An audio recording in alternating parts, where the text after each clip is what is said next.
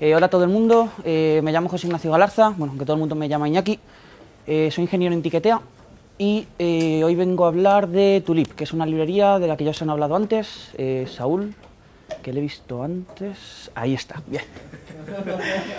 Entonces, em, bueno, antes venir a la charla, eh, estuvimos hablando por email los dos para contar cosas que se complementasen, que no, nos- no se pisasen. Entonces, básicamente, bueno, antes preguntar, ¿cuántos vinieron a la charla esta mañana? La mayoría, perfecto. Vale, por entonces, em, el esquema que voy a seguir básicamente es, eh, o sea, para los que no vinieron esta mañana, voy a introducir brevemente lo que es Tulip, para que no se pierdan en la charla. Eh, voy a introducir brevemente todos los conceptos, eh, ya diré cuáles de ellos eh, los contó bastante bien esta mañana esta mañana en la otra charla, por lo cual, eh, bueno, ya están subidas las transparencias y cuando se cuelgue el vídeo podéis completarlo con eso. Entonces, primeramente eh, vamos a hablar de qué es Tulip, a continuación vamos a hablar bastante más de generadores y corrutinas, porque al final es algo eh, bastante importante en Tulip, aunque no sea obligatorio usarlos, pero se usan muy bien en, Tulip. Y por último, vamos a ver componentes, los componentes que tiene Tulip. Uno a uno, eh, nos pararemos más en los que esta mañana no se vieron tanto, como por ejemplo los protocolos, y los demás pues los veremos menos. Entonces, básicamente, eh, vamos a hablar de Tulip, como ya he dicho, que no se llama Tulip, sino que desde eh, que se incorporó la librería en la librería estándar en Python 3.4, eh, se llama Sync.io. Entonces, la definición de esta librería realmente es una librería de entrada-salida asíncrona eh, rehecha. Básicamente esto lo que significa es que, eh, bueno, el panorama anterior que había esta librería, teníamos muchas librerías que hacían algo parecido, solo que de distinta manera, como puede ser Given, como puede ser eh, Tornado o como puede ser Twisted. Entonces la idea que tuvo Guido, que fue el, precursor y el creador de esta, de esta librería, fue básicamente hacer una que digamos que, no, no que las juntase a todas, pero que sí que cogiese lo mejor de cada una y que de hecho que pudiese ser eh, interoperable con las otras que existen. Entonces, bueno, todo el código que hay en esta charla es Python 3, eh, incluso el que no usa Tulip, pero en concreto Tulip necesitas Python 3.3, porque va a usar un- una expresión que se llama from, que ya vemos qué significa, eh, que solo existe desde Python 3.3. En Python 3.3 la librería no la tenéis eh, instalada por defecto en la librería estándar, sino que tenéis que instalarla desde PyPy, por ejemplo. Y en Python 3.4 ya vendrá, cuando salga al final, ya vendrá dentro de la librería estándar. Bien, entonces, ¿de qué vamos a hablar concretamente? De un montón de cosas, no os asustéis.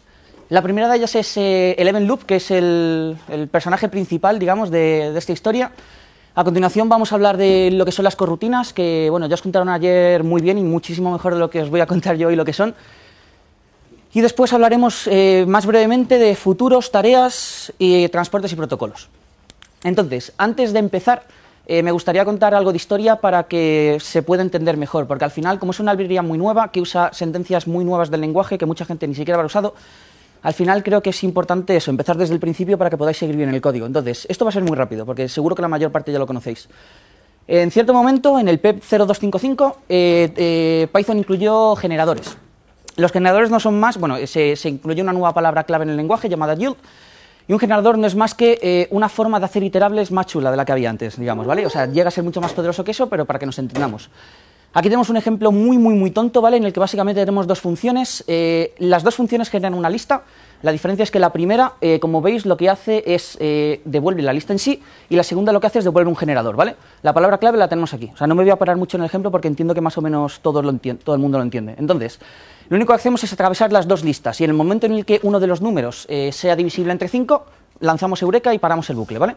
Entonces la diferencia es que la función normal va a tener que generar la lista entera y el generador en el momento en el que genera el 5 va a dejar de generar, ¿vale? Es decir, que en el momento en el que el trabajo deja de ser necesario, para de hacerlo, ¿bien? Porque no mantiene, o sea, no genera el listado entero en memoria, sino que va generando valor a valor y cada vez que se le llama genera el siguiente.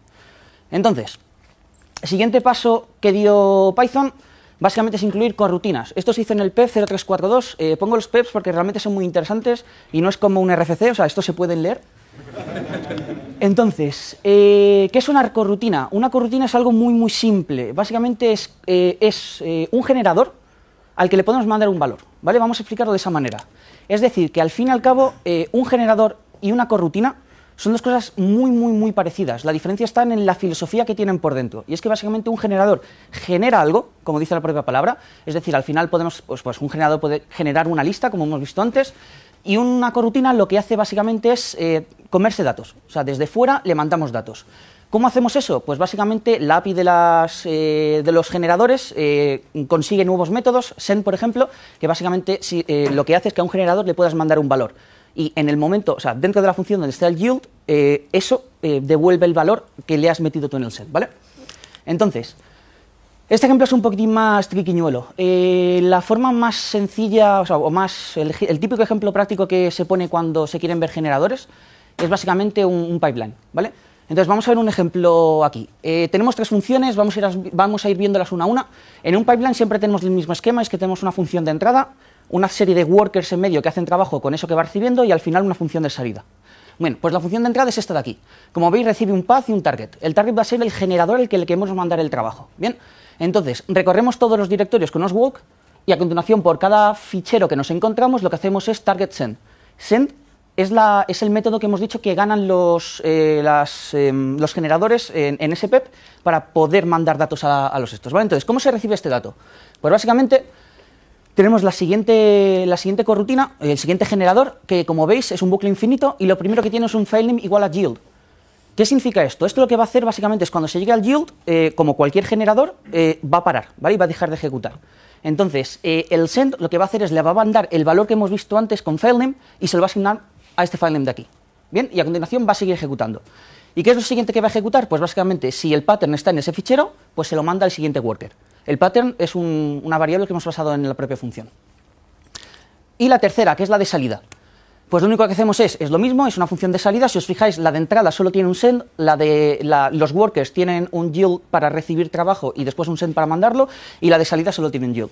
Pues entonces, ¿qué hacemos aquí? Pues en un bucle infinito cogemos el resultado, eh, lo, que nos los que, lo que nos hayan mandado desde, desde la corrutina, y a continuación simplemente eh, imprimimos el resultado. ¿Forma de ejecutar esto? Esta de aquí. Lo único que hacemos es, eh, pues esto está muy bajo creo, no puedo subirlo, lo siento. Eh, os digo básicamente lo que pone, es llamar a la primera función con el path que queremos, el target va a ser una llamada a la segunda función con el pattern que queremos y cuyo target va a ser la tercera función, es decir, un pipeline, ¿vale? Uno detrás de otro. Entonces, ¿qué va a hacer esto básicamente? Pues si lo ejecutamos en este caso, que básicamente lo que queremos es filtrar todos los ficheros que tengan pi en el, en el nombre. ¿No tengo el resultado? Sí, esto se ha ido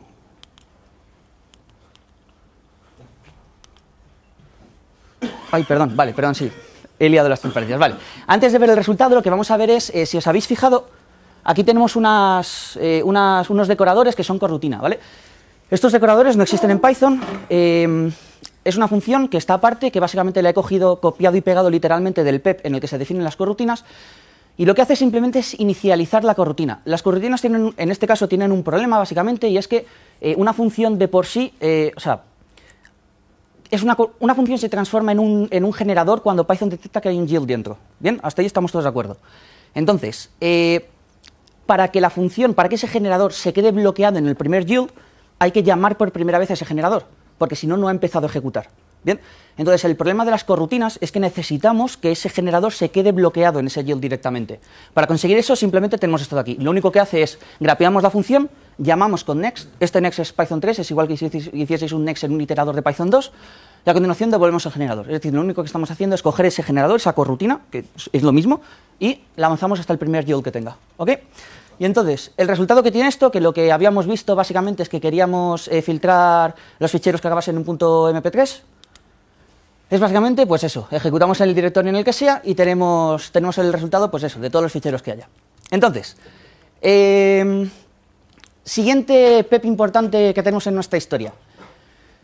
Pues llega Python y dice, bueno, los generadores están muy bien, las corrutinas están muy bien, pero necesitamos mejorar un poquitín esto. Necesitamos mejorarlos en alguna manera. ¿En qué manera? Pues básicamente necesitamos, el problema de los generadores es que es muy difícil de eh, refactorizar código en ellos, porque básicamente la función que llama sabe que es un generador y tiene que hacer, tendría que hacer muchísimo boilerplate si tú quieres coger eh, la función que llama ese generador y sacarlo otro. ¿Por qué? Porque un generador puede hacer muchas cosas. Puede devolver un valor, por ejemplo, así en la forma más sencilla que hay, devolver un valor o devolver una excepción. Entonces, el que llama tiene que controlar eso. Eh, este PEP es muy interesante, el que salía justo antes, porque sale exactamente el, el pseudocódigo en Python que se intenta arreglar con la nueva sintaxis que se introduce. La nueva sintaxis que se introduce es básicamente yield from. Esto lo único que hace, ¿vale? Es eh, permitirte delegar el trabajo que hace un, un generador en otro, ¿vale? Esto suena muy bizarro, pero vamos a ver muy simplemente en esto. Las pilas van mal. Vale, entonces, aquí tenemos un, el típico ejemplo que se pone con esto es un, un árbol binario, ¿vale? Tenemos un árbol binario en el que básicamente tenemos que eh, recibe un, un dato, eh, el árbol de la izquierda, o sea, el nodo de la izquierda y el nodo de la derecha. Los nodos son objetos del mismo tipo. Se guardan los tres y básicamente la función, o sea, implementamos el protocolo de iterador para que se pueda iterar por esto y básicamente el protocolo de iterador es, eh, si tiene algo en, a la izquierda, recorre todos sus nodos, a, a, continuación recorro el dato y por último recorro todos los de la derecha. Bien, este yield de aquí lo hacemos porque, o sea, si hacéis esto eh, sin que sea un, iterador, esto puede ser infinito, o sea, que decir, un nodo, o sea, un árbol puede ser enorme. Entonces, realmente queremos ir iterando, cada vez que se pide un nodo, doy el siguiente. Bien, no queremos generar la lista entera en ejecución porque muy posiblemente, de hecho, ni siquiera, sea, o sea, ni siquiera haga falta. Entonces, el problema de esto, básicamente, es que, eh, bueno, que al final, este self left es un generador. ¿Por qué? Porque, bueno, en este caso es un iterador, pero como si, o sea, un generador al fin y al cabo. Entonces, ¿por qué? Porque básicamente, como está implementando el protocolo de iterador y el left y el right son eh, objetos del propio tree basic, realmente esos objetos saben cómo iterar por sí mismos. Es decir, que este for es superfluo. O sea, yo debería de poder decirle, si hay por la izquierda, lo que tienes que hacer es hacer un yield, pues de self left, ¿vale? Pero no podemos hacerlo, tenemos que de esta manera provocar que el, el, protocolo de iterador se ejecute y a medida que me van llegando los nodos, coger y hacerles un yield.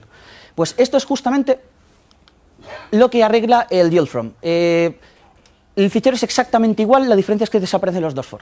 Bien, podemos hacer un yield from desde el, desde el nodo del izquierdo, desde, o sea, desde el nodo del izquierdo, desde la derecha, y ese yield from sabe que lo que le está recibiendo es un, es un, un generador, por lo cual lo que tiene que hacer es ir y pedirle el siguiente a ese generador.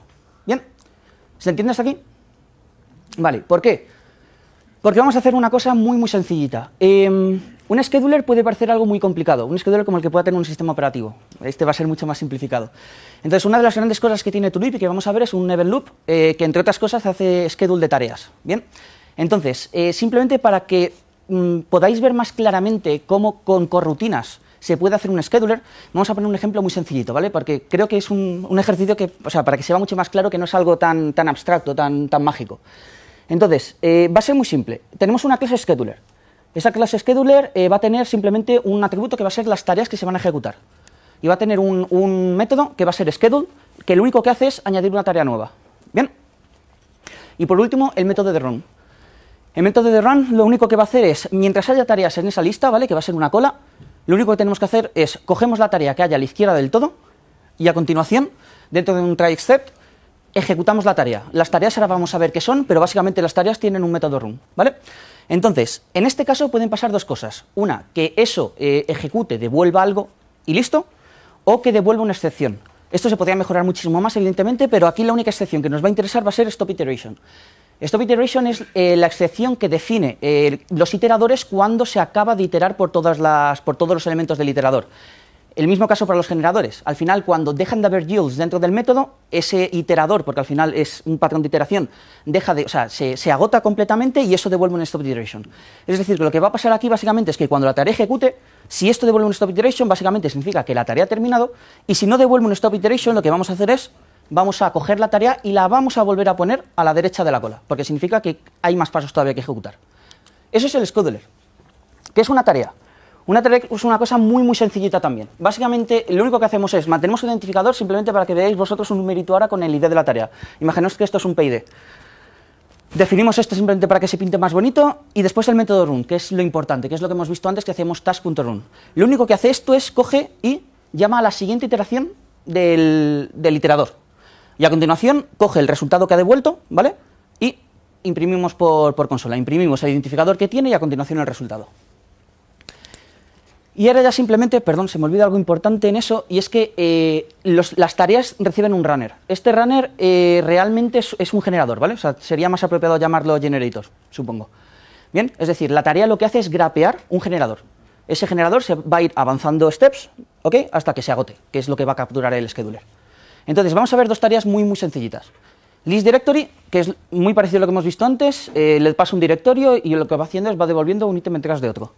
Y a continuación tenemos otra tarea muy tonta que lo que hace es, le paso un 5 y 5 veces eh, me dice, hola, ya está. Y listo, ya tenemos un scheduler hecho. Lo único que tenemos que hacer es ejecutarlo. creo el scheduler y le meto tres tareas. Las tareas reciben el generador, pues genero un, o sea, creo un generador que es listdir de quiero eh, pintar todo lo que hay en el territorio actual y a continuación quiero que me digas hola cinco veces y hola tres veces. Y le digo run.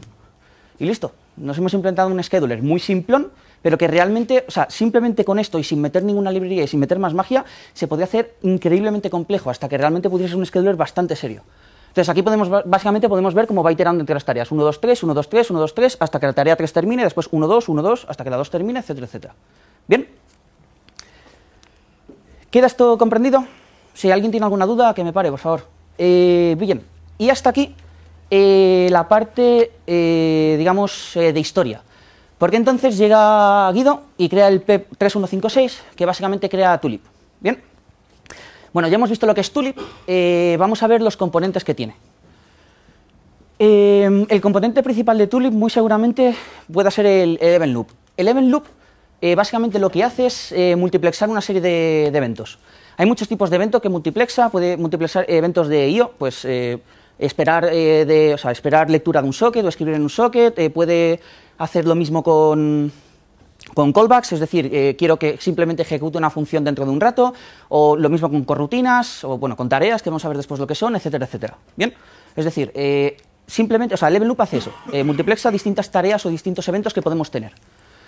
Entonces, eh, de los más importantes y una de las razones principales de ser de esta librería es que básicamente hace, o sea, hace scheduling, o bueno, es un event looper, es decir, que lo que mejor se le, bueno, lo que mejor se le da, no, una de las cosas que hace, muy importantes, es que justamente eh, hace, bueno, hace lo mismo con eventos de entrada-salida. Y esto lo hace con un módulo nuevo que está en Python 3.4, que se llama Selectors, y que básicamente eh, usa por debajo pues, una, de una de las librerías, pues, eh, la, mejor que haya para el sistema. Esto ya lo explicó Saúl esta mañana, entre las que puede estar EPOL, KaKiwi o WIOCP en, en Windows. Entonces, esta librería, eh, entre otras cosas, eh, porque o sea, ya hay muchas librerías muy asentadas para, para, el tema, como las tres que hemos comentado antes, como Given, Twisted, etcétera, eh, pues esta librería no nace para destruir a esas tres, sino que Tulip nace para ser complementaria a esas tres. O sea, se puede usar de forma eh, isolate, o sea, aparte, se puede usar de forma, o sea, sin, sin usar las demás, sin ningún problema, pero eh, puede interoperar con ellas. Que puede interoperar con ellas lo que significa básicamente es que eh, eh, se le puede decir a los otros frameworks que use este event loop, o sea, el de Tulip, o se le puede decir a las otras que usen el de este, o, o sea, se pueden integrar entre ellas básicamente, ¿vale? Entonces, eh, la API de Tulip la, ha recorrido muy bien Saúl esta mañana, entonces no la voy a volver a repetir. Vamos a ver simplemente dos tipos de llamada porque las vamos a necesitar para código de después. Entonces, el primer tipo de llamada es básicamente eh, cómo ejecuto yo ese event loop. Vale, pues tenemos, vamos a ver tres llamadas principales. La primera es cómo coger el event loop, es ese get event loop. Esto lo que hace es, eh, va a la política del de, event loop que tiene, que tiene la librería, eh, que se puede cambiar. Eh, por defecto es básicamente que hay un event loop en el thread principal y en los demás no lo hay. Si quieres crear un event loop en otros threads, tienes que crearlo tú, ¿vale? Con una llamada que no está ahí puesta, pero bueno, que existe. Y después para ejecutarlo, una vez tenemos el objeto, básicamente, bueno, tenemos muchas formas de ejecutarlo, aquí vamos a ver importantes dos. Una de ellas es run until complete, que básicamente esto lo que recibe es un generador, ¿vale? Y cuando, bueno, un futuro, y cuando ese futuro eh, está, o sea, es, está resuelto, básicamente termina, el event loop se apaga. Y el tercero, que básicamente es run forever, que es eh, ejecuto siempre, ¿vale? Hasta que alguien me haga un stop, que el loop tiene un método stop con el que se puede apagar. Y después, el segundo tipo de llamadas que vamos a ver es eh, llamadas que podemos hacer a callbacks. Eh, las llamadas a callback son, pues eso, lo que es un callback de toda la vida. Quiero que el event loop dentro de, en el primer caso, lo antes posible, o en los otros dos casos, eh, con un delay o a X fecha en concreto, bueno, X fecha en concreto nunca va a ser, o sea, a partir de esa fecha cuando puedas, eh, queremos que ejecute un callback normal y corriente que le pasamos entre parámetros. Bien, entonces, sobre todo esto, Saúl ha contado muchísimo más y muy bien esta mañana, o sea que mira sus slides, básicamente. Entonces, esto en cuanto a level loop. En cuanto a las corrutinas, las corrutinas en. Bueno, las corrutinas en Tulip, o sea, hemos hablado un montón de corrutinas hasta ahora, de hecho es de lo único que hemos hablado prácticamente. Las corrutinas no son obligatorias de usar en Tulip, eh, porque como hemos dicho, eh, esta librería para, para, esta librería es muy importante ser interoperable con otras, por lo cual, si se quiere usar con callbacks directamente, eh, se puede hacer sin problemas. de hecho, hay, bueno, ahora lo vemos, o sea, hay un concepto llamado tarea que justamente sirve, entre otras cosas, para, por ejemplo, hacerlo de esa manera. Pero la cuestión es que eh, si usáis Tulip sin integrarse con otras librerías, la librería usa muy bien eh, las, corrutinas, ¿vale? Está hecha para usar corrutinas. Entonces el yield from lo vais a ver mucho si miráis ejemplos por la red porque realmente está hecha para usarlo. Entonces, ya sabemos que es una corrutina, así que simplemente vamos a ver un ejemplo de una corrutina eh, usando esta librería en concreto. Ese decorador de corrutina no es el que hemos hecho antes, este decorador es uno que está en la propia librería de Tulip y que no hace absolutamente nada. Bien, eh, si está la depuración activada de la librería, básicamente lo que hace cierta información, pero por defecto no hace nada. Es algo simplemente eh, para, o sea, documentacional, o sea, simplemente para que el programador sepa que esto es una corrutina. Entonces, eh, si miramos aquí abajo, primero lo que vemos es que lo que hacemos es cogemos el event loop, que como simplemente como no está definido la política por defecto es que en el thread principal va a haber uno, y a continuación lo que le decimos es quiero que esto se ejecute hasta que se haya completado lo segundo de allí, ¿vale? Lo segundo de allí es una corrutina, es decir, que cuando la corrutina, eh, que es un iterador, ese eh, protocolo de iteración termine, ese event loop se va a apagar. ¿Y qué hace básicamente GetURL? Pues va a coger eh, y va a llamar a una llamada que se llama Open Connection, que básicamente es una llamada de, alta nivel, de alto nivel de Tulip, que lo que hace es recibe eh, un dominio o una IP, o sea, es capaz de resolver dominios por debajo, y el puerto, y abre una conexión. Para leer código de Tulip, y esto es lo bonito de la librería, imaginaos que el yield from no está. Si el yield from no estuviese, esto sería código completamente síncrono. Al añadirle el yield from, se convierte en asíncrono, ¿vale? Es muy bonito porque a diferencia de otro tipo de librerías, eh, al no ser con callbacks, por ejemplo, no se hace difícil seguir el código, sino que sigue, un, un orden completamente síncrono. Entonces, lo que va a hacer básicamente es que ese Open Connection eh, va, a bloquear el event loop, eso se va, o sea, el event loop va a seguir ejecutando otras tareas y cuando esa tarea devuelva de red, básicamente va a volver a ejecutar esta, o sea, va a volver a llamar a la corrutina pasándole el valor que necesita. En este caso van a ser pues, el socket de lectura y de, de escritura. A continuación escribimos la cabecera HTTP, eh, hacemos otro yield from de quiero leer el contenido. Eso nos va a volver a bloquear porque al final estamos haciendo la petición. Y por último, eh, imprimimos el resultado que nos vuelve esta función termina y el event loop se apaga. ¿Queda más o menos claro? Vale. Pues siguiente tema. Futuros. Los futuros, eh, seguramente, bueno, eh, no sé si los habréis usado en, en otros lenguajes, pero, eh, o sea, ya hay futuros en Python, no sé si habréis usado esos futuros, pero son los mismos que existen en otros lenguajes y al menos de oídas entonces, básicamente un futuro es una promesa de que en algún momento en el futuro eh, una operación va a devolver un, result bueno, un resultado o una excepción en caso de Python, ¿no? pero que va a devolver algo. Es decir, yo quiero hacer algo y en vez de quedarme bloqueado, lo que hago es, eh, bueno, en los, en los futuros que existían hasta entonces, esa tarea se lanza ¿vale? Eh, en un executor, sea un thread o sea un proceso, por ejemplo, y básicamente cuando esa tarea termina, setea el resultado en ese futuro y yo puedo leer ese futuro. ¿Bien? Entonces, estos futuros nuevos que están en Tulip, es decir, si hacéis async.io.future, eh, vais a tener futuros, vais a ver que los que habían antes siguen existiendo, evidentemente, concurren.future. Entonces, estos futuros son muy similares a los que ya había. Eh, cambian un par de cosas en la API, eh, un par de cosas importantes en, por ejemplo, si intentas llamar al resultado del futuro en la librería anterior, mm, te quedas bloqueado, en la actual lanza una excepción, porque no debes de llamar al resultado antes de que, antes de que, de que exista. Entonces, básicamente, la forma de usarlo son muy, muy, muy parecidos. De hecho, en un futuro se plantea incluso integrar las, dos librerías para que solo haya una. Entonces, una de las grandes mejoras que tiene este futuro con respecto al otro es que implementan el patrón del de, protocolo de iteración. Es decir, que al final estos futuros los podemos usar con yield from.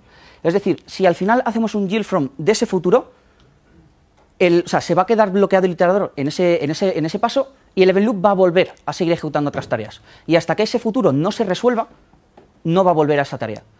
Lo bonito del yield como hemos visto, es que básicamente eh, permite delegar el trabajo a otro, a otro decorador, ojo, a otro decorador, a otro, a otro generador. Gracias. Entonces, eh, básicamente lo que conseguimos con esto es que si ese futuro devuelve una excepción, la excepción se va a propagar. Y si devuelve un resultado, el resultado va a llegar. Para ver un ejemplo, eh, aquí tenemos un ejemplo de un futuro. es un poco bizarro, pero para que veáis el, el, o sea, lo que viene a ser, Cogemos el event loop, creamos un futuro y eh, creamos una tarea que ya vamos a ver qué es, pero vaya, olvidaos de que aquí hay una tarea y lo que vamos a hacer básicamente es vamos a llamar esta función pasándole el futuro. Y a continuación eh, vamos, a hacer, vamos a ejecutar el, el event loop hasta que se, o sea, pasándole ese futuro, lo que significa que ese event loop va a estar ejecutándose hasta que el futuro se haya resuelto. Y por último pintamos el resultado del futuro. ¿Vale? Los que no vean detrás, perdonad, eh, al final pone future.result. Entonces, si vemos la función de arriba, lo único que hace la función de arriba básicamente es tres veces coge y se duerme un segundo. Para dormirnos eh, no hacemos un sleep normal y corriente, o sea, no, queremos dormir a Python entero, digamos. Lo que queremos es básicamente que el event loop, eh, digamos, o sea, decirle al event loop, quiero ejecutarme. O sea, hemos visto antes, por ejemplo, que teníamos llamadas para decir call a some, por ejemplo, o call at, o call, o sea, con, un delay, ¿vale? Por lo que estamos haciendo aquí básicamente es, quiero, o sea, quiero que esta llamada vuelva a llamarse, pero dentro de un segundo, ¿vale? Es decir, lo que viene a ser, quiero que este, este generador se duerma un segundo. Entonces, una vez hemos hecho eso durante tres segundos, eh, cogemos el futuro que nos han pasado como parámetro y le decimos setea el resultado a future is done. El resultado puede ser cualquier cosa que queráis, un booleano, un string, un diccionario, lo que sea, un objeto, lo que sea. Entonces, esto lo que va a provocar es que este loop eh, se, se despierte, no deje de ejecutar, porque evidentemente la ejecución queda bloqueada en este run. Cuando este futuro se despierta, esto sigue ejecutando y esto llama al resultado del futuro e imprime esa cadena. ¿Bien? Eh, lo mismo, o sea, si, estuviese, si estuviese generado alguna excepción, pues al final, bueno, la excepción se habría propagado. ¿Ok? Entonces, eso es un futuro. El siguiente tema son las tareas. Las tareas son exactamente lo mismo que un futuro eh, con algo más. ¿Y por qué digo esto? Porque básicamente eh, un futuro, o sea, una tarea, perdón, eh, no es más que una corrutina que está encapsulada en un futuro. ¿Qué significa esto? Eh, bueno, eh, de hecho no es que esté encapsulada, sino que, o sea, bueno, está encapsulada, pero me refiero, la, eh, la clase de tareas, si miráis el código de Asincayo, es básicamente es una subclase de, es una subclase de, de, futuro. Es decir, una tarea es en todos los aspectos es un futuro y va a tener exactamente la misma API que futuros, pero nos va, nos va a proveer de más cosas. La cosa más importante de la que nos va a proveer es que básicamente las tareas hacen progreso solas, al contrario que las corrutinas. Y nos vamos a parar un segundo a pensar en esto. Un generador, como hemos visto, básicamente eh, cuando llamamos al yield, lo que va a hacer el yield es va a coger y va a bloquear, o sea, va, a devolver eh, la ejecución, o sea, a quien ha llamado a, ese, a esa corrutina, va a devolver en ese punto bloqueado a la tarea. Bien, entonces, si queremos que esa corrutina se siga ejecutando, lo que tenemos que hacer es volver a hacer un next a esa corrutina. Con esto lo que quiero decir es que al final, si tenéis una corrutina o un generador, llamadlo como queráis, sois vosotros los que tenéis que llamar con el send o hacerle un next para que siga iterando por, esa, por los yields de esa, de esa corrutina. ¿bien? Es decir, no avanza solo, sois vosotros los que tenéis que avanzarlo. Entonces, eh, tenemos un event loop que ya está haciendo, ya está haciendo schedule, por ejemplo, de eventos de, IO. Sería cojonudo que pudiésemos hacer que, eh, de alguna manera, las corrutinas que yo tenga también pudiese coger el event loop que ya tenemos y fuese iterando a través de ellas. Pues esto es exactamente lo que hace una tarea. Una tarea lo que hace básicamente es que eh, coge eh, la corrutina que, con la que le hemos grapeado, porque al final la tarea, si habéis visto el ejemplo de antes, el constructor recibe la corrutina, lo que hace es la va avanzando a medida que el event loop puede hacerlo. ¿Por qué? O mejor dicho, ¿cómo? pues básicamente, y este es el único momento en el que nos vamos a meter en el código de, de la propia librería, esto es código de Tulip. Si vemos, por ejemplo, en el, este es el constructor de lo que es una tarea, eh, si, os fijáis, está heredando efectivamente de futuro. Y una de las cosas, una de las muchísimas cosas que hace el constructor es básicamente coge el loop, el event loop, eh, que tener, o sea, pensad que cualquiera puede acceder al loop porque está en un thread local y por defecto en el hilo principal siempre hay uno. Entonces coge el event looper que, que, estamos usando en este thread y básicamente lo que le dice es quiero que en el próximo momento que puedas, digamos, o sea, en la siguiente iteración del event loop, si no hay otras tareas por delante, evidentemente, eh, coges y ejecutas ese, callback, ¿vale? Eh, call son, si os recordáis lo que, lo que recibieron callback. Entonces, ¿qué es este callback? Este callback es esto de aquí. Hay muchísimo código, no quiero que miréis ninguna línea realmente. Lo que hace este callback, lo que hace este callback es básicamente esto de aquí, ¿vale? Hace un montón de comprobaciones, de hecho esto tiene muchísimo código, o sea, no sé si son 300 líneas, pero la parte importante que hace este callback es que, eh, entre otras cosas, va viendo, bueno, mira si tiene una excepción, bla, bla, bla, pero lo que hace de una manera, con un throw, con un send con un next, lo que hace de una manera o de otra es coger esa corrutina y avanzarla al siguiente step. ¿Vale? Y al final, ¿qué vuelve a hacer? Pues eh, vuelve, o sea, eh, mete en el event loop otra vez la, la, corrutina, ¿vale? Para que avance el siguiente.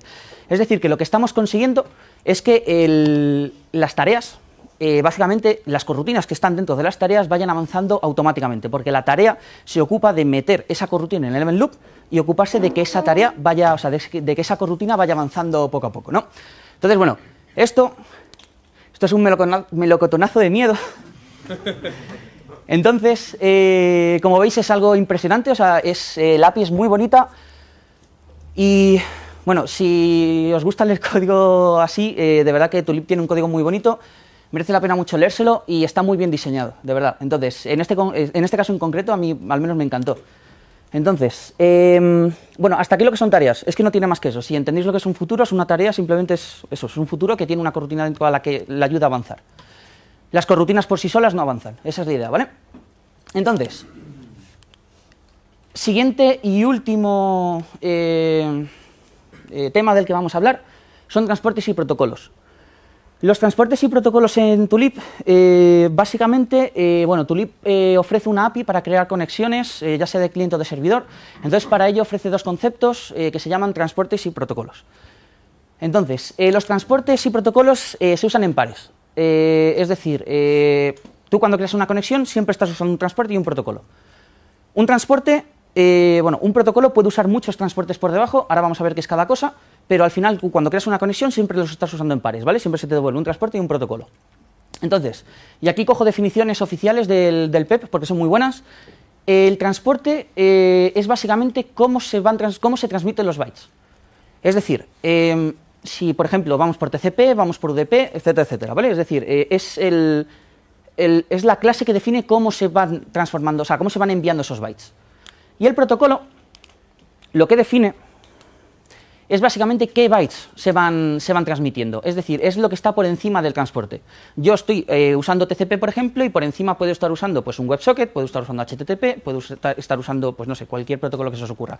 Un protocolo de eco, lo que sea. ¿Bien? Es decir, em, yo cuando creo una conexión, lo dicho, se me devuelven las dos cosas y al final, pues eso, yo puedo estar usando, por ejemplo, HTTP o cualquier, bueno, es una bizarred, pero HTTP bajo UDP, por ejemplo, pero bueno, al, final lo que quiero, mal ejemplo, puedo estar usando un eco, ¿vale? Un servidor de eco sobre TCP o sobre VP, ¿vale? esa es la idea, básicamente. Entonces, eh, los protocolos y los, y los transportes tienen, tienen API muy interesante.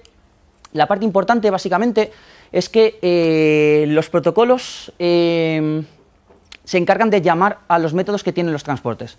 Es decir, si yo tengo un método que implementa HTTP, por ejemplo, eh, yo tengo una serie de métodos en mi transporte, bien, porque cuando se, eh, se crea un protocolo, lo primero que se hace es, eh, bueno, al crearse se le pasa el transporte que está usando. Entonces ese transporte tiene una serie de métodos, entre los que tenemos, pues son bastante evidentes, quiero escribir, quiero escribir una serie de líneas, o mm, dime si este protocolo soporta escribir un EOF, en, ese caso, mm, escríbemelo y ciérrame la conexión. Bien, es bastante evidente. Entonces, después por el otro lado, tenemos, o sea, esto estamos viendo que es cuando el protocolo quiere interactuar con el transporte, y después tenemos el otro caso, que es el que el, transporte le quiera decir algo al protocolo. En este caso, no usamos corrutinas eh, porque Tulip, eh, lo dicho, una de las partes principales que uno de los objetivos principales que tiene es ser interoperable y el yield from eh, no es interoperable con otros otros frameworks, ¿vale? Entonces, básicamente aquí retornamos al sistema de callbacks de toda la vida. Entonces tenemos eh, lo que básicamente pasa aquí es que el transporte llama al protocolo con un callback cuando ciertas cosas pasan. Por ejemplo, cuando la conexión se realiza, el transporte llama al protocolo pasándole el propio transporte. Es decir, yo me acabo de iniciar para ti y este soy yo. Bien, entonces, por ejemplo, en este método lo primero, lo típico que se hace es cojo ese transporte y me lo guardo en el objeto, ¿vale? Porque lo voy a necesitar después pues, para escribir en él, por ejemplo. Y lo mismo con otros casos, como por ejemplo que se ha recibido dos datos, eh, esto está repetido. El comentario está bien, el, código no. Bueno, lo dicho, eh, si se ha recibido un EOF o por ejemplo si la conexión se ha roto. Entonces, vamos a ver un ejemplo muy, muy, muy facilito, que básicamente es hacer un, servidor de eco.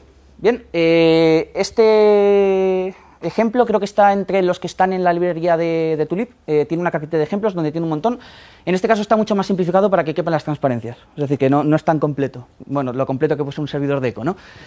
Entonces, eh, ¿qué hace en este caso el eco? Lo que vamos a hacer es definirnos un protocolo, ¿vale? El transporte no lo vamos a hacer porque no tiene mucho sentido. Transportes hay un par, y ya están implementados en Tulip, ¿vale? Es, mm, o sea, tenéis que tener un trabajo muy especialito para que necesitéis, implementaros un transporte.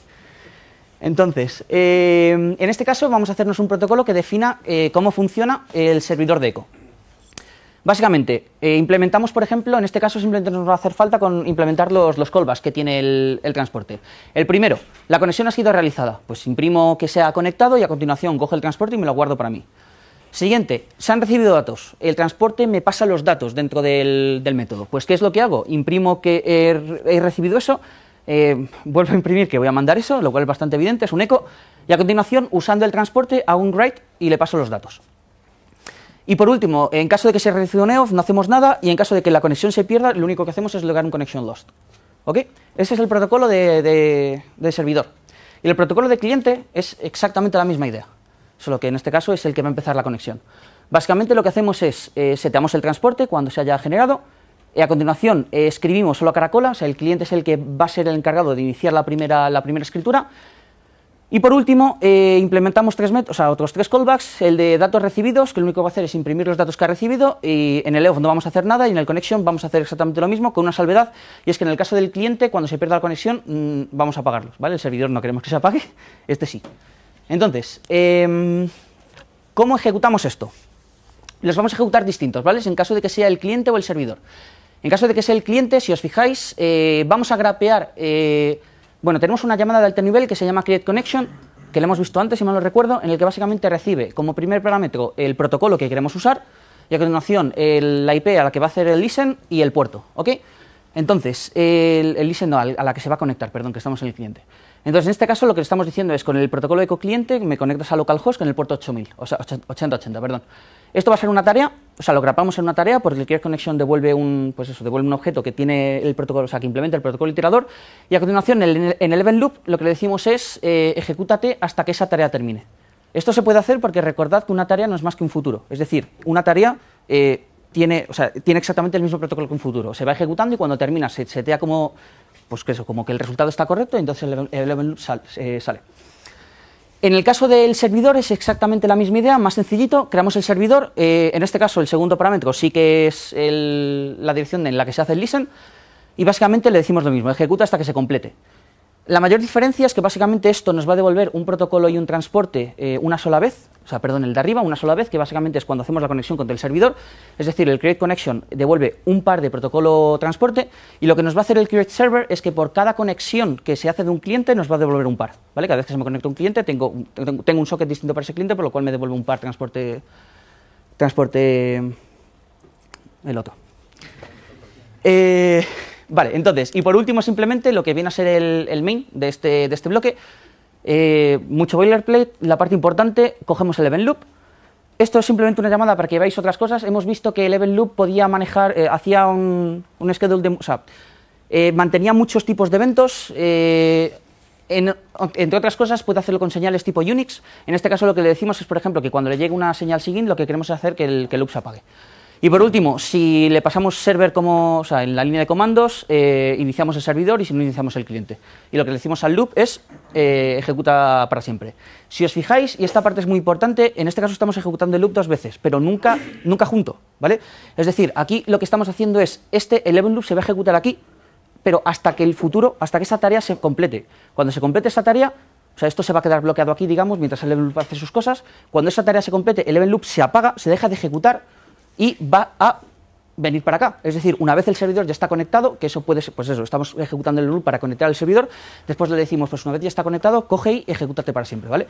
¿Hasta cuándo? Hasta que se capture la señal siguiente. Entonces lo que se va a hacer es el loop que está ejecutándose, vamos a coger y vamos a apagarlo. ¿Se entiende? Vale. Y con UDP, pues os voy a enseñar el código. No, es broma. Es más o menos lo mismo, ¿vale? Eh, es más o menos lo mismo, tiene una API algo distinta porque UDP no es, o sea, no, no tiene una distinción tan clara entre, bueno, no tiene servidor cliente, o sea, es, eh, al final las llamadas de callback son distintas, eh, no os las enumero porque realmente no tienen mucho sentido, simplemente que las miréis en el PEP, ¿vale? Entonces, em, realmente este código, o sea, o sea, Tulip se puede usar de varias maneras. normalmente, o sea, yo voy a pensar que, o sea, por ejemplo, eh, y esto se dijo esta mañana, ya hay muchas librerías de terceros que implementan protocolos. Por ejemplo, hay, pues, eh, hay una librería de WebSockets, por ejemplo, eh, usada para el demo del 10K Connection que se hizo con Django. Pues el mismo creador hizo una librería, eh, cogió esa librería de WebSockets y la sacó para crear una librería de, WebSockets, ¿vale? Entonces, eh, este código que veis aquí puede ser más o menos claro de hacer porque hay, eh, para el manejar el event loop puede ser cierta, o sea, algo complicado. En caso de que uséis una librería no os vais a tener que meter en tanto, en tanto fregado. Al final eh, vais a ver que las librerías tienen una API muy sencilla en el que básicamente lo único que vais a tener que hacer es escribir vuestro código síncrono y las, eh, las operaciones que bloqueen meterlo en from delante. Y bueno, em, eso es todo lo que tengo que contar realmente. Em, tenía una demo preparada eh, de un protocolo de chat pero creo que no lo voy a enseñar, sinceramente. Es muy tarde y lo que voy a hacer es voy a subirla y le echáis un ojo, ¿vale? Porque realmente es exactamente lo mismo que hemos mostrado en el, en el, en el ejemplo del, del eco, solo que un poquitín más complicado, ¿vale? Tiene más código, entonces eso, veo caras cansadas, así que prefiero no seguir hablando. ¿Alguna pregunta? Sí. No te escucho, lo siento. Es que no te escucho. Vale, que puedes volver a una de las eh, diapositivas de las corrutinas al principio. Eh, que había un par de llamadas que eran Jill Frog, ¿no? Corrutinas. Eh, Tú dirás si antes o después. aquí. ¿Esta? Si tú le quitas el Jill Frog, Sí. ¿sigue funcionando?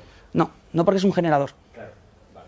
¿Vale que, claro, em, realmente la transformación, esto es solo a modo de crítica, me parece todo bastante chulo, Ujú.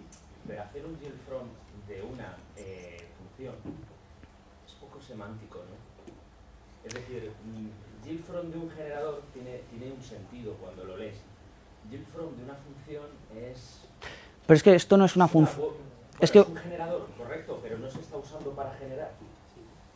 Es que no es un generador. A ver, es que eh, aquí estamos. eh, es algo completamente filosófico, digamos. Esto no es un generador, es una corrutina. ¿Vale? O sea, Pero quiere decir que. Igual. Sí, se implementa de la misma manera porque al final es un generador que puede recibir datos, por lo cual es algo meramente filosófico, ¿vale? Pero la cuestión es que si lo llamas generador, efectivamente es bizarro decir, pues un generador está devolviendo cosas, ¿vale? Bueno, está devolviendo cosas, perdón. O sea, está, eh, bueno, suena un poco extraño, si tienes, tienes razón, ¿vale? Lo que pasa es que tienes que entender que esto no es un generador, aunque lo sea. Pero Es que es como si... Toda la filosofía que tiene Python de ser tan expresivo, al final se haya caído en el from para hacer progresar a una corrutina. Es que al final eh, una corrutina es básicamente un, es un generador, o sea, es algo que va teniendo, va avanzando por steps. Y es que por esa regla de tres realmente los generadores son iteradores, y por esa regla de tres los iteradores son, no sé, eh, mm, descriptores de, de Python, porque al final implementan, o sea, al final lo que tienen los protocolos de Python es que mm, si lo vas llevando al absurdo, ¿vale? Todos los objetos van implementando lo que tenían antes más más cosas que, que tienen nuevas, ¿vale? Entonces, esto es cuestión de gustos. Hay otras librerías que lo hacen de otra manera, ya sea con callbacks, ya sea con grindless, por ejemplo, con lo que sea. A mí, sinceramente, me gusta mucho porque a mí me queda muy claro cuando esto está haciendo algo asíncrono. ¿Vale? A mí, me- cuando leo el código, me queda clarísimo que en este momento el event loop va a entrar. O sea, decir, le estoy diciendo lee. eh, o sea, bueno, si esto ya está aquí, dámelo ya, pero si el event loop tiene que salir a red o tiene que hacer lo que sea, que el event loop entre y haga lo que sea. ¿Vale? Entonces, a mí me parece que, se- que queda legible. Es cierto que llamarlo generador son un poco extraño, pero eso es simplemente pensar que esto es una corrutina, porque hace lo que hacen las corrutinas, aunque también sea un generador. Tienes una, una- tienes una palabra reservada realmente de dos palabras. O sea, Sí. Claro, se te hace tan evidente porque es una cosa rara en medio del código. ¿Sabes? Una, una de las razones que, o sea, justamente una de las discusiones que hubo al principio es que eh, se quería crear una, o sea, se discutió si crear una palabra reservada nueva. De hecho, hubo una, una que tenía bastantes votos, no me acuerdo ahora el nombre, pero era si crear una palabra reservada nueva o usar una que ya estuviese, ¿vale? Ganó simplemente las que ya estuviesen porque implementar el Excel es difícil y porque, eh, entre otras cosas, Guido quería que la librería estuviese en Python 3.3. O sea, no quería irse a 3.4. Que eso sea una razón válida o no válida ya es algo, supongo, personal. sí. Tiene, por completar la A mí tampoco me gusta Yelfro y a mucha gente tampoco, pero nadie te obliga. De hecho, puedes añadir callbacks a los tasks, como hemos dicho antes, puedes hacer add on callback y ya está. Y hay entre las librerías de third party que están en el wiki, hay una que básicamente usa Greenless. Entonces no necesitas Yelfrom en realidad. Lo que hace esto es eh, modificar un poquitín el funcionamiento del event loop simplemente para, para que se use Greenlet en su lugar y tú escribes punto .read y ya está, igual igual y por debajo hay magia. Sí. Sea, al final es, es, es- o sea, es una de las cosas buenas que en esta librería es muy plugable, digamos. O sea, está hecha para funcionar con otras cosas. Si no te gusta esta forma de, de funcionar, como ha dicho Saúl, tienes otras. Esta es la por defecto, digamos. O sea, si no usas cosas de terceros o, o los lo integras con otros frameworks. Sí. Eh, por añadir un poco más a la polémica, eh, quizás con ahí un detalle de implementación en- al nombrar las cosas. Es decir, desde luego, desde un punto de vista de implementación, la corrutina y el generador tienen muchas similitudes. Desde otro punto de vista, el yield, eh, bueno, y en, y en el caso ya de la corrutina, el yield mismo eh, acaba siendo una contrapartida del send. Ujú. Eh, viniendo un poco del mundo académico, se me viene a la cabeza el CSP, que básicamente es comunicación de procesos, que es básicamente lo mismo en un sistema de tareas, y ahí, pues a nivel bajo, pues había un send y un eh, como contrapartida. Simplemente tal vez por ahí habría sido algo con más eh, significado. Y bueno, aparte de eso, que es un poco reflexión filosófica, eh, quería has mencionado el Kakio y compañía, e igual habría estado bien mencionar, eh, por ejemplo, LibDispatch, que hace realmente algo parecido, ¿no? El- o sea, en esa parte de la charla justamente han mencionado muchísimo más Saúl y como hay un tiempo limitado no quería... Vale, vale. O sea, no sé si he estado esta mañana... En la otra charla no he estado. Y todo esto, vamos, básicamente Kakio se ha utilizado, si no me equivoco, en la implementación de Linux de LibDispatch, por ejemplo. Y LibDispatch es un sistema eh, de tareas que como que tiene- yo, la, yo la he utilizado y tiene muchas similitudes con todo esto. Lo que pasa es que es a nivel de, de C, C++, ¿no? bueno, de, de C principalmente. Una de, las limita- una de las normas, entre comillas, que se siguieron con Tulip fue no depender, no depender de librerías externas. No, ya, Solo de la Standard Library. Entonces, para hacer esto, solo lo que estuviera en la Standard Library es módulo select. Lo único que se ha añadido es IOCP para Windows. No, sí, simplemente mencionar como, como referencia porque son casos un poco comunes, ¿no? Son, Sí, tienen similitudes. Sí, sí, bien. Gracias, Paul. Eh, ¿Alguna pregunta más? ¿O Yo solo por ¿Comentario? un poco. En ese caso, lo que va a pasar cuando se ejecuta el yield from es que él va a esperar un send de la función OpenConnect. Eh, una siguiente iteración? Sí, no tiene por qué ser un send porque no siempre es para mandar un dato, puede ser un next. Pero sí, va, va a esperar a que... O sea, básicamente cuando ejecute este yield from, el, el event loop va a coger el relevo, ¿vale? Va a ejecutar alguna cosa más en caso de que haya alguna cosa más que ejecutar. Y si no, simplemente cuando esto llegue de red, eh, va, pues eso, se, se le va a hacer un send al... O sea, el, el, el event loop le va a hacer un send a la cortina para que siga ejecutando. Se quedará bloqueado en la siguiente y así hasta que, hasta que termine. No sé quién me está hablando, perdón. Ah, ¿el que está inicializado? El Open Conexión, como es un generador, está, inicializado. O sea, se le ha hecho el primer next. No entiendo la pregunta, perdona. ¿No, no contaste antes que para que un generador mm, pudiera empezar a, a correr Sí. tenías que hacerle un primer next y por eso lo Sí. decorabas? Ujú. Open Connection ya, es- ya está inicializado. O sea, está inicializado seguro, ¿vale? Lo que no sé decirte es exactamente si eso es una corrutina o es una tarea, ahora mismo no me acuerdo, sinceramente. Pero desde luego Open devuelve una corrupción. devuelve una corrutina, ¿cierto? Sí, perdón. Claro, por eso le haces un yield from, sí, sí. O sea, eh, ida de pizza. Efectivamente, esa es una función normal que devuelve una corrutina y justamente por, le- por eso le haces un yield from, ¿vale? O sea, el yield from se hace en una corrutina y eso se encarga de... Entonces, según eso, getURL es una corrutina y OpenConnect es una do- Sí, esto es una corrutina, ¿vale? Efectivamente, de hecho está aquí marcada como corrutina. Es una corrutina simplemente porque al tener yields dentro, ¿vale? Eso Python al leerlo simplemente el intérprete lo va a convertir en un generador, ¿vale? Entonces, esto es una corrutina que se ejecuta en el run deal complete, que esto tiene que recibir una corrutina, un futuro, una tarea, etcétera, etcétera, ¿vale? Y eh, efectivamente estas dos lo que van a hacer es devolver una corrutina igualmente, ¿vale?